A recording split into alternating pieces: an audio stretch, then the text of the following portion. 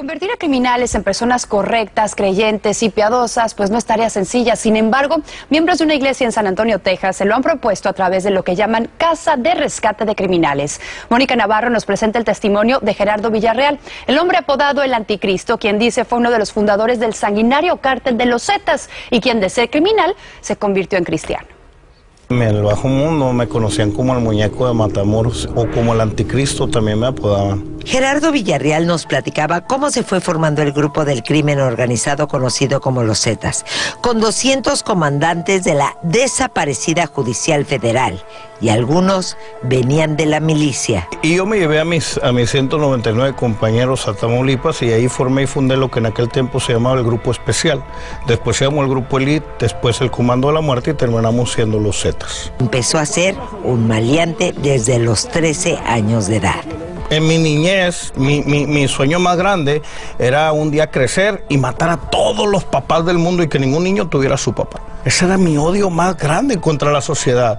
Yo me llegué a orinar en la primaria, me llené a defecar también por la impotencia de ver a los papás cómo amaban a sus hijos. Mi papá jamás jugó la pelota conmigo. Y así, poco a poco, bajo el poder policíaco, se entregó al crimen organizado tráfico de influencias, extorsiones, tráfico de drogas. Eh, en México era lo que yo hacía. Yo era un delincuente.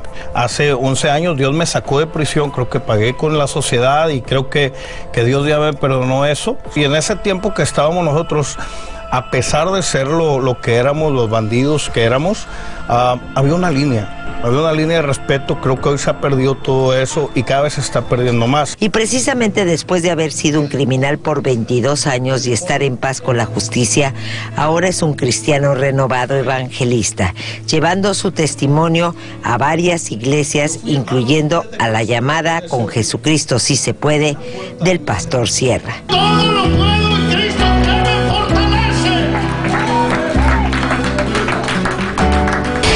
Dice que continuará orando por todos aquellos que pertenecen a grupos del crimen organizado para que se conviertan de criminales a cristianos.